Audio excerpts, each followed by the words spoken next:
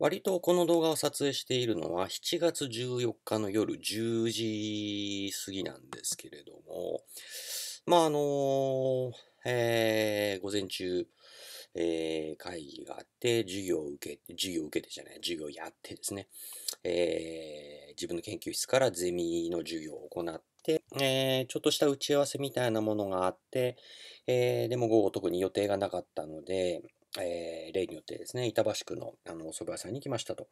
あのー、いつかの動画で、えー、天ざる大盛りっていうタイトルだったと思いますけれども、動画でお話しした、えー、お蕎麦屋さんですね、に行きましたと。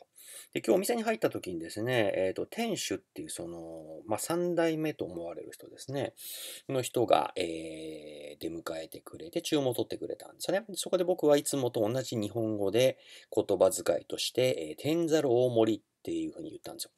そしたらね、その店主がすかさず、海苔ない方がいい？って聞き返してきたんですよね。で、今までね、こうやってね、あの、海苔いりますか？みたいなリアクションをしてくるのは、奥さんの方だったので、いよいよこの店主の方もね、僕がそういう、まあ、常連ということをね、この天ざる大盛りしか頼まない人っていうことでね、いよいよ認識してくれたかなと思ってね、ちょっと嬉しくなりましたけどね。で、そうやってね、あのー、まあ、店主の方からも天ざる大盛りの人と思われるようになったんじゃないかっていうことで、ちょっとまあ、あの、なんていうのかな、いい気分になったんですけれども、いい気分になったも、いい気分になったのも、こう、なんていうか、つかの間ですね、あの海苔がないなら、じゃあ、天せいろだねって言われたんですよ。で、ただその大盛りなので、大天せいろだねって言われたんですよ。でね、ああ、そうなんだ。なるほど、なるほど。あの、海苔がかかっていないものを、ここでは、えー、天ざるとは言わないで、天せいろって言うんだと。で、それの大盛りだから、まあ、このお店ではね、その大盛りの王が先に来ることが多くてね、大天ざるとか大天せいろっていう風になるので、まあ、そのルールいくと大天せいろっていうことになったんですよね。あ、なるほど、なるほど。じゃあこれからは大天せいろって言おうと思ってね、学習したなと思って、よしよしと思ったんですけれども、あのー、まあ、そもそも僕はですね、その天ざるっていうものの、まあ、標準的なスタイルっていうのは多分海苔がかかってるんですね。そばに海苔がかかってるわけですけれども、その海苔をね、まず全部溶けるんですよ。全部溶けるっていうか、海苔を、海苔だけを全部つゆに食べるんですよ。で、どうしてかっていうと、この、そばをこうやってズーズーすするときに海苔がついていて、この喉を通るときにパサパサするの嫌なんですよ。海苔が嫌いなわけじゃないんだけれども、このすするときにね、一気にこのそばのみでいきたい。別に海苔が嫌いなわけじゃないんですよ。なので、まあそうやって海苔を全部ね、最初に食べて、海苔なしの状態にしてそばを食べるわけですけれども、まあそれに気づいたね、店主の方からね、お店の店主とか奥さんの方からね、あの、こいつは海苔が嫌いなんじゃないかとかね、思われたんじゃないかと思うんですけれども、で、まああの今日ね、僕の直後にね、男性客が入ってきてね、大盛りそばを頼んだんですよ。大盛りそばっていうか、大きい盛りそばを頼んだんですよ。ああ、なるほど、盛りそばかと思ったんだけど、で、あのー、まあちょっとね、数分して出てきてね、出てくるの見てたんですけれども、見てたらね、えー、要するに、ざるそばに海苔がかかってないものなんですよ。そうすると、ちょっと待てと。盛りそばとせいろはどう違うんだってことですよね。どちらも海苔がかかってないっていうことでね、盛りそばとせいろそばはどう違うんだってことになるわけですよね。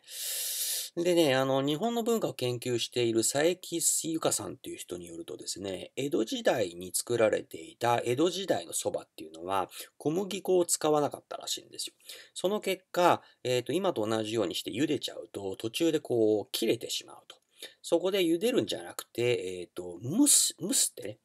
蒸すね、やり方をしてたらしいんですよね。で、その時に、まあ、あの、いわゆるせいろっていうものを使うわけですけれども、それで作られたお蕎麦のことを、まあ、せいろ蕎麦と呼んでいたというらしいんですね。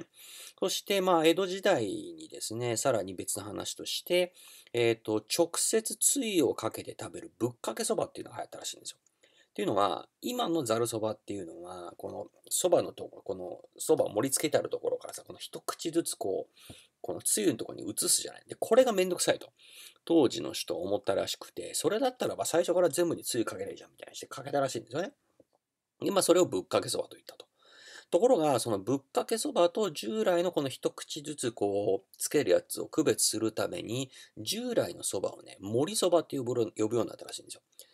で、さらに、その、じゃあ、ざるそばってのはどっから出てきたかっていうと、あの、今でいう江東区ですね、深川のあたりにある、えー、あるだかあっただかわかりませんけれども、伊勢屋っていうね、お蕎麦屋さんで初めて、えー、竹ざるの上にね、お蕎麦を盛り付けて出したのがざるそばの起源って言われてるんですね。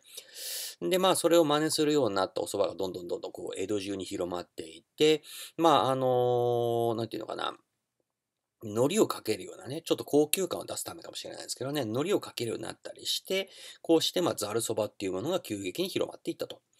で、ところがね、結局このざると森とせいろがどう違うかっていうのはね、曖昧なんですよ。お店によってどうも違うらしいんですよね。だからこう、ざるにね、この竹のざるみたいなところに盛られたせいろそばもあれば、海苔がかかったせいろそばのことをね、ざるせいろって呼んだりするお店もあるらしくてね。まあ、あの、この佐伯さんがこんなこと言ってますけれども、辻褄が合わないことを楽しみ、楽しむのが粋の一つだとすると、呼び名の定義はさておき、粋にお蕎麦を楽しみたいですねと。まあそうっすね。まあ、あの、細かいことは気にせずにね、僕が食べたのが、天せいろで、僕の次に出てきた、えー、お蕎麦が、えー、大盛り蕎麦だったとしても、そんなの関係ないですね。まあ、とにかく、まあ、天ゼロの大盛りっていうか、まあ、天せいろっていうんですかね、をまた食べに行こうかなと思ったという話です。じゃまた。